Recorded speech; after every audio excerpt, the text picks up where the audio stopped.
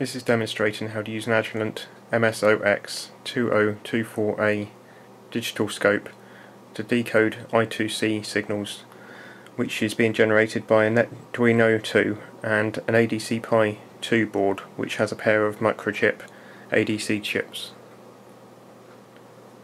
The screen at the moment is just showing the the screen is showing the I2C data coming in via the two probes if we press the serial button on the scope, it brings up the serial menu which brings a new line at the bottom of the screen. And if we adjust the horizontal resolution, we can zoom in until we start to get data. And at the moment it's jumping around a lot, so we need to go to the trigger, change the trigger type, change it to serial I2C, and then we get a data lock onto the individual packets coming out to the chip.